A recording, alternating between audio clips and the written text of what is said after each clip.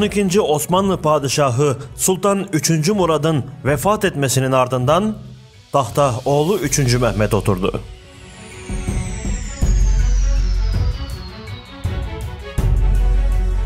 ...27 yaşındaydı. 11 yıldan beri Manisa Saruhan Sancak Beyliği görevini yerine getiriyordu.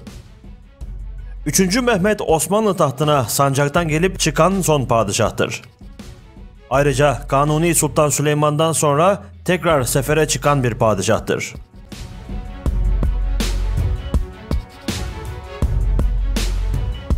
Üçüncü Mehmet tahta geçtiğinde 19 kardeşini boğdurmakla bilinmektedir.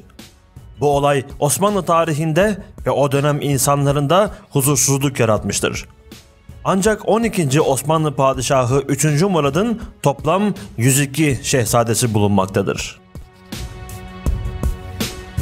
Osmanlı Devleti'nin bu döneminde devlet her ne kadar en geniş sınırlara ulaşmış ve dünyanın en büyük devleti olsa da yönetimde bazı sorunlar da baş göstermeye başlamıştır. 3. Mehmet'in dedesi 2. Selim dönemindeki Osmanlı seferleri hep deniz aşırı olmuştur. Bu sebepten 2. Selim deniz aşırı sefere çıkmamıştır. Ancak babası 3. Murat devrinde gerek Safaviler ile sürdürülen savaşlar, gerekse Avusturyalılar ile başlayan savaşlara padişah ordusu ile hareket etmemiştir. Zira Kanuni Sultan Süleyman bu tarz seferlere çıkmaktan ve yıllarca seferde kalmaktan asla tereddüt etmemiştir. Padişahların sefere çıkmayı bırakması ve bu görevi paşaların üstlenmesi de kendi aralarında ortak düşünce sahibi olmak yerine ciddi bir rekabet yaşanmasına sebep olmuştur. Koca Sinan Paşa Safavi seferlerinde Özdemiroğlu Osman Paşa'nın başarılarını kıskanıp kendisine yardım etmek yerine kuyusunu kazmaya çalışmıştır. Kıbrıs Fatihi Lala Mustafa Paşa ile ciddi sürtüşmeler de yaşamıştır. Vezirlerin de aynı yıllar içerisinde ard arda vefat etmesi Osmanlıların yönetim boşluğunu meydana getirmiştir. Tüm bu yaşananların farkında olan Sultan 3. Mehmet'in tarihe geçen şöyle bir sözü vardır. Ceddimiz devletimizin kurucusu Osman Gazi Hazretlerinden büyük dedemiz Kanuni Sultan Süleyman'a kadar bütün padişahlar askerin önünde sefere çıkmışlardır. Dedemiz Sultan II. Selim ile cennet mekan pederimiz Sultan Murat bu usulü bozdular. Biz dahi başlangıçta seferi paşalarımıza ısmarlamakla hataya düştük. Asker evlatlarımız bizi başlarında görmek isterler. Kararımız odur ki yakında sefere çıkacağız.'' Hazırlıklar tamamlansın. Küffara haddini bildirmeye gitmek gerekir. Sultan 3. Mehmet'in aldığı bu karar üzerine annesi Safiye Sultan oğlu 3. Mehmet'in bu kararını desteklememiş ve kendisinin sarayda kalıp devlet işlerini yönetmesini tavsiye ettiğinde 3. Mehmet validesine şöyle bir cevap vermiştir. Valide, biz sultan oğlu sultanız. Kullanmayacaksak Eyüp Sultan Camii'nde bu kılıcı niçin kuşandık? Kararımız karardır. Sefere çıkacağız. Taht uğruna devleti feda edemeyiz.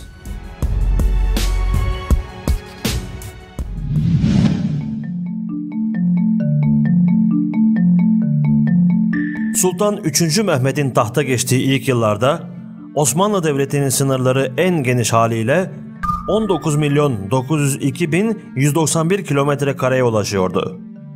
Bu toprakların 2 milyon 848 bin 940 kilometre karesi Avrupa'da, 4 milyon 815 bin 832 kilometresi Asya'da, 12 milyon 237 bin 419 kilometre karesi ise Afrika'da yer alıyordu.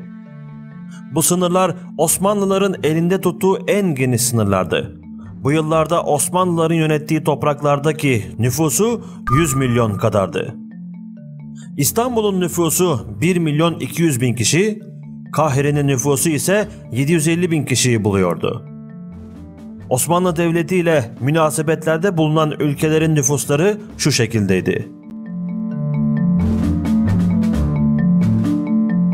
Safaviler 15 milyon, İspanya Krallığı 33 milyon, Kutsal Roma Cermen İmparatorluğu 17,5 milyon, Fransa Krallığı 15 milyon, İngiltere Krallığı 5 milyon 900 bin, Venedik Cumhuriyeti 3 milyon 800 bin, Papalık ise 1 milyon 900 bin kişi kadardı. 1600'lü yıllara doğru dünya nüfusu 548 milyon kadardı. Asya'da 350 milyon, Avrupa'da 122 milyon, Afrika'da 60 milyon, Kuzey Amerika'da 9,5 milyon, Güney Amerika'da 5 milyon ve Okyanusya'da 2 milyon kadardır.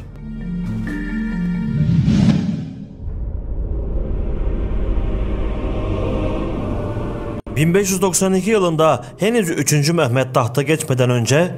...Osmanlılar ile Avusturyalılar arasında savaş başlamıştı. Savaşın ilk yıllarında Avusturyalılar İstolni Belgrad'ı kuşatmışlardı. Tiryaki Hasan Paşa yetişerek İstolni Belgrad'ı kurtarmayı başardı. Sefere Serdar tayin edilen Koca Sinan Paşa, Viyana'ya 100 kilometre uzaklıktaki Yanık Kale'yi fethetmiş ve Belgrad'a çekilmişti. 3. Murat ölmeden hemen önce Erdel, Eflak ve Boğdan prensleri Osmanlılara karşı isyan ettiler. Kısa süre sonra da 3. Murat ölünce bu savaş 3. Mehmet'in saltanat dönemine kaldı. Avusturya Savaşı ve Voyvodaların isyanı üzerine Vezir-i Azam Ferhat Paşa sefere serdar tayin edildi.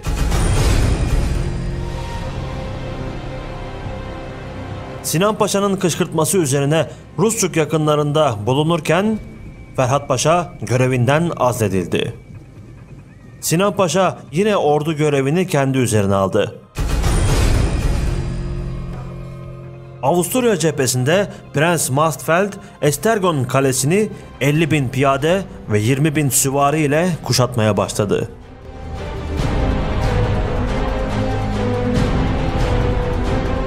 Sinan Paşa'nın oğlu Vezir Mehmet Paşa, babası gelene kadar serdarlığı üzerine aldı. Emrindeki ordu ile Avusturyalıları karşılamak istedi.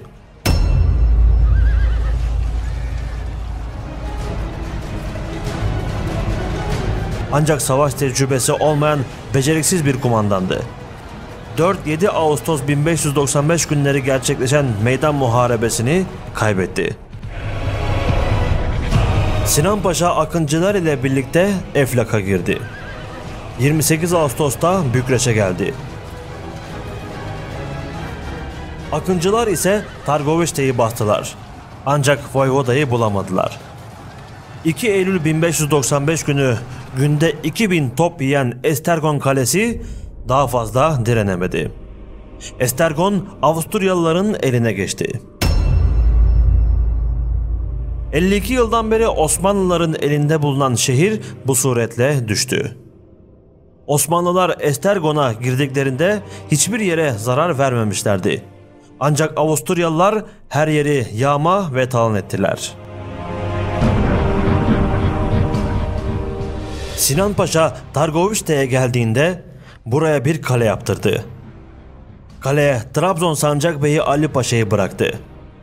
Voyvoda Mihai Almanlardan her türlü desteği almış bulunuyordu. Sinan Paşa'nın buradan ayrılması üzerine Voyvoda Mihai Vlad Dracul'un torunu olduğunu kanıtlamıştı. Targovişte'ye girerek 3500 Türk'ü kazıklara oturttuğu gibi Ali Paşa'yı da canlı canlı ateşte yaktırdı.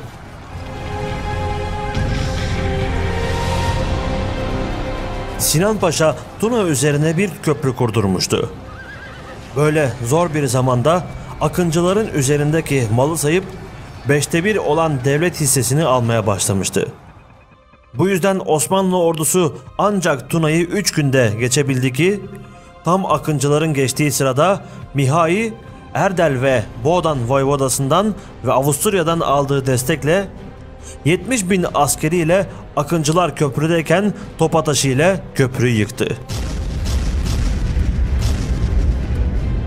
Geri kalan Akıncıların hepsi şehit edildi.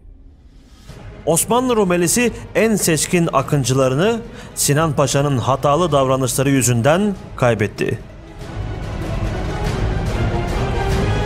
Rumeli'deki Osmanlı ordu düzenine göre Akıncı birlikleri çok önemli bir yere sahipti.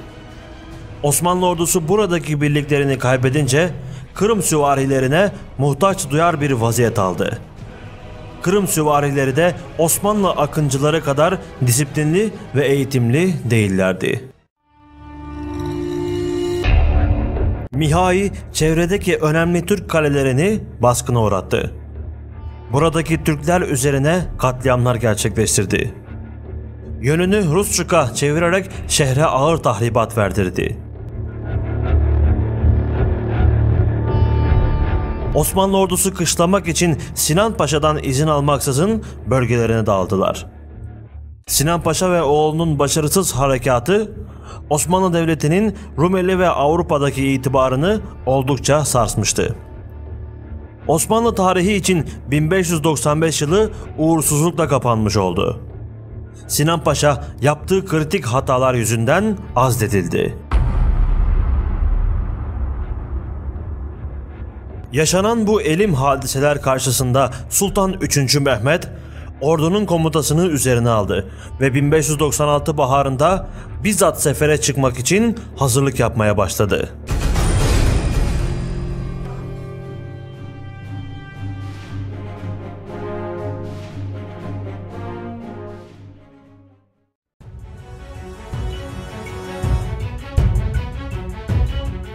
Osmanlı Devleti'nin 13. padişahı olan Sultan 3. Mehmet, Avusturyalıların Estergon'u ele geçirmeleri, Erdel, Boğdan ve Eflak voyodalarının isyanı ve Koca Sinan Paşa'nın başarısızlığı üzerine sefere çıkmaya karar verdi. Padişahların sefere çıkmayı bırakması askerin üzerindeki etkisini azaltmış, Fütühat devri askerlerinden eser kalmamıştı.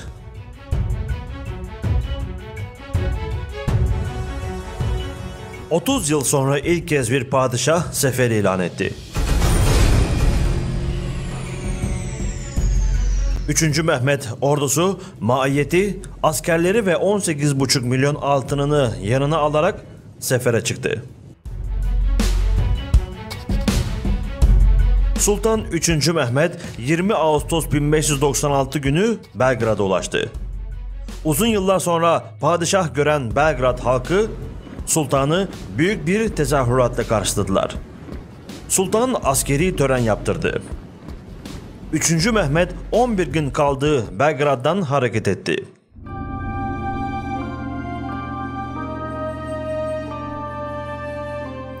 ...24 Eylül 1596 günü Eğri muhasarası başladı. Eğri Kalesi bölgenin en mühim kalesiydi. Sultan Süleyman zamanında Vezir-i Azam Kara Ahmet Paşa burayı 39 gün kuşatmasına rağmen fethedememişti. Eğri kuşatması 18 günde netice verdi. Osmanlı askeri Eğri Kalesi'ni fethetmeyi başardı. 11 bin Avusturya askeri kaleyi savunurken öldüler. 18 Ekim 1596 günü Eğri'de cuma namazı kılındı.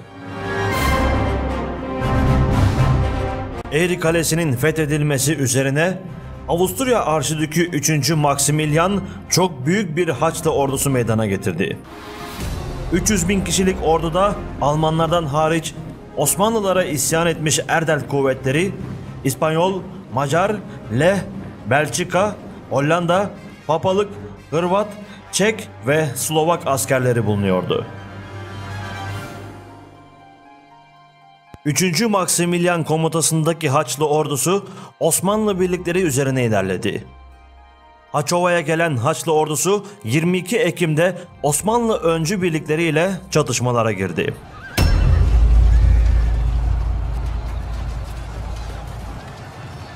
Osmanlı öncü birlikleri sayı azlığından dolayı bu ordunun önünde tutunamadı.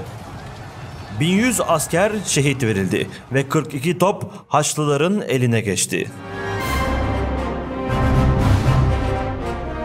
Tüm Osmanlı ordusunu toplayan Sultan 3. Mehmet 140 bin askerle Haçlıların üzerine ilerledi. Osmanlı ordusu 60 bin tımarlı sipahi, 55 bin kapı kulu ve 25 bin Kırımlı'dan oluşuyordu.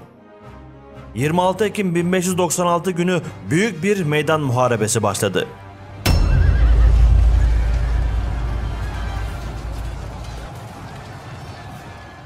Haçova Meydan Muharebesi'ni Osmanlı Devleti kazandı.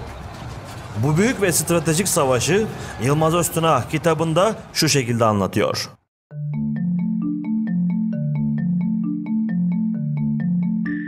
Almanların taarruza başlamaları ve Osmanlı merkezine derinlemesine Otao Hümayun yakınlarına girmesiyle muharebe başladı. 3. Mehmet adından inmiş, otağına girmiş, sırtında peygamberin hırkayı saadeti, elinde peygamberin mızrağı namaz kılıp dua ediyordu. Vezir-i Azam İbrahim Paşa otağa girdi.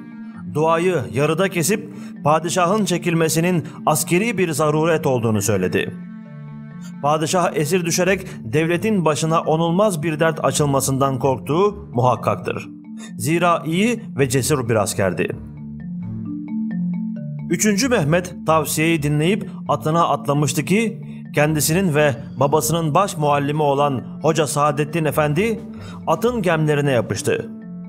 Padişahı yerinde görmeyen askerin derhal dağılacağını, muharebenin devam ettiğini ve bozgun olmadığını, peygamberin ruhunun kendilerini seyrettiğini söyledi.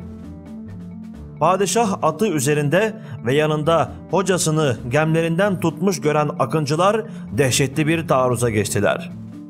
Haçlılar bozuldu. 50 bin düşman askeri muharebe meydanında 20 bini bataklığa sürülerek öldü. 100 top itinam edildi. Osmanlı zayiatı birkaç bin şehitten ibaretti. Fetih Giray ile Cağaloğlu Sinan Paşa bozgun düşmanını takip edip esirler aldılar.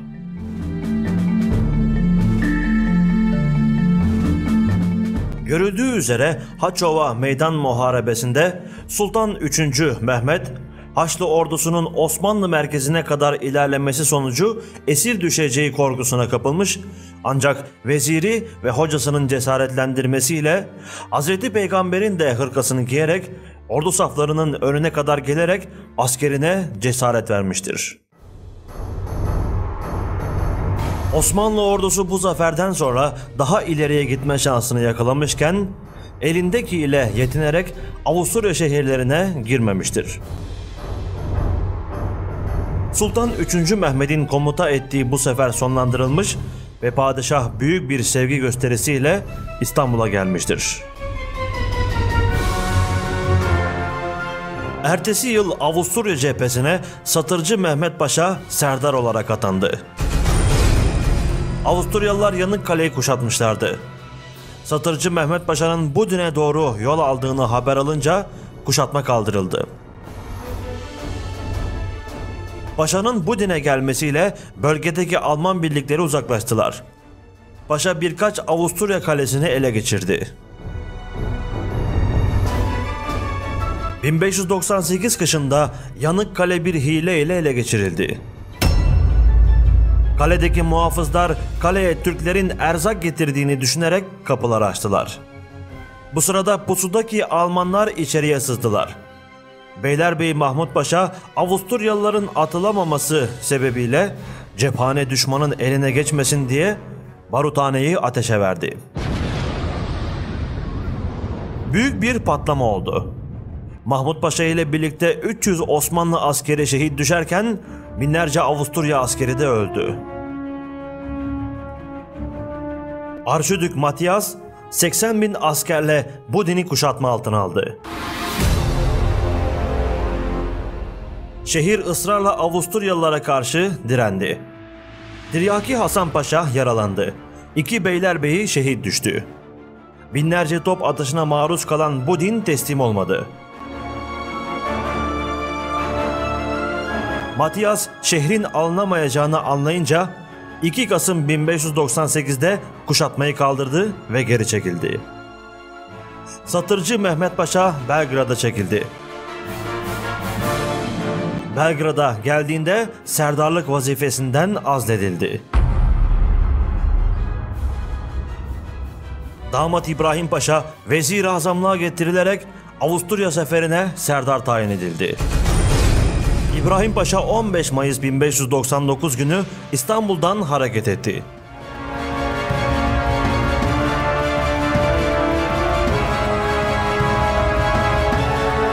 Kırım Hanı 2. Gazi Giray'da Osmanlı ordusuna katıldı.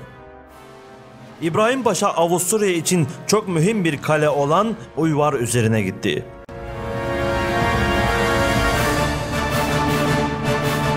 İbrahim Paşa kaleyi fethetmeyi başardı. Uyvar Kalesi'nin düşmesinin ardından Almanlar sulh istedi. Almanların sulh istemesine karşılık Eflak Voyvodası Mihai de yardımın kesileceğini düşünerek Divan-ı Hümayun tarafından affedilmek istedi. Avusturyalılar ile Osmanlılar sulh görüşmeleri için toplandılar. Osmanlıları temsilen Diyarbakır Beylerbeyi Kuyucu Mehmet Paşa görevlendirildi. Müzakereler sonuçsuz kaldı.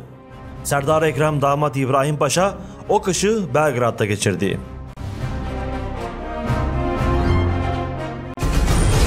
Paşa 1600 yılının 12 Eylül'ünde Kanice Kalesi'ni kuşatma altına aldı. Kanice Kalesi 22 Ekim'e kadar dayandıysa da fethi gerçekleşti. Kanice Kalesi'ne 5000 Osmanlı askeri konuldu. İbrahim Paşa o kış yine İstanbul'a dönmedi. Önündeki bahara Avusturya seferine devam etmek üzere Belgrad'a çekildi.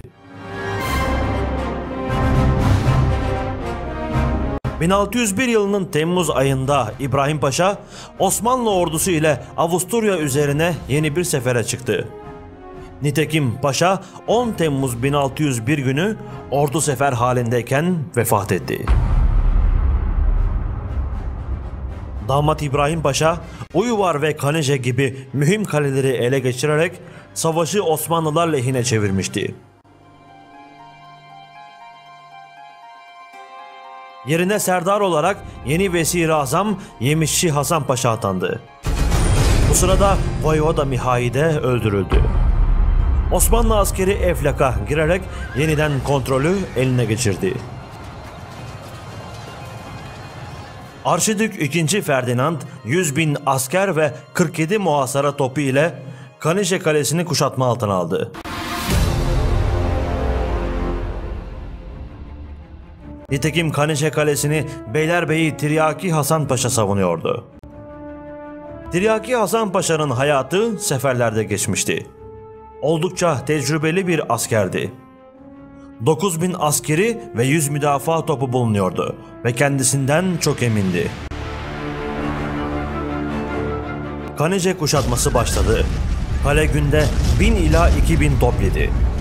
Taarruzlar ard arda gerçekleşti. Yemişçi Hasan Paşa yakınlarda olduğu halde Kanice'yi kurtarmak için bir hamle yapmadı. Zira İbrahim Paşa kadar cesur bir asker değildi. Tiryaki Hasan Paşa tek başına kaldığını anlamıştı. Fakat stratejiler geliştirdi. Casuslar vasıtasıyla yüz binleri bulan Osmanlı ordusunun Kanice'ye yaklaştığı haberini Alman ordusu içinde yaydırdı. Zaten Osmanlılara karşı savaşmak istemeyen Macar askerleri huzursuzluk çıkardı. Kuşatma sırasında Papa'nın yeğeninin de Osmanlı kurşunuyla ölmesi moralleri oldukça bozdu. Tiryaki Hasan Paşa 17-18 Kasım gecesi kaleden Huruç harekatı yaptı. Muhasarının 69. günüydü.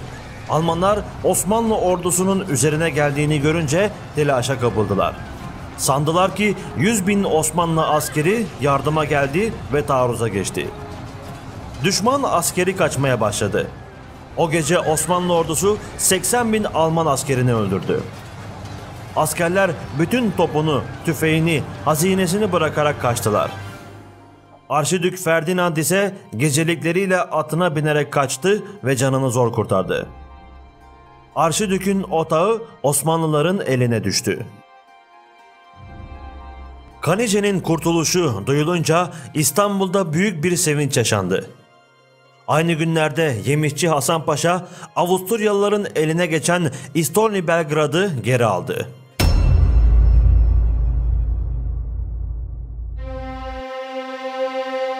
Avusturya cephesinde bunlar yaşanırken Safevi Şahı Abbas da Osmanlılara karşı yeni bir savaş ilan etti.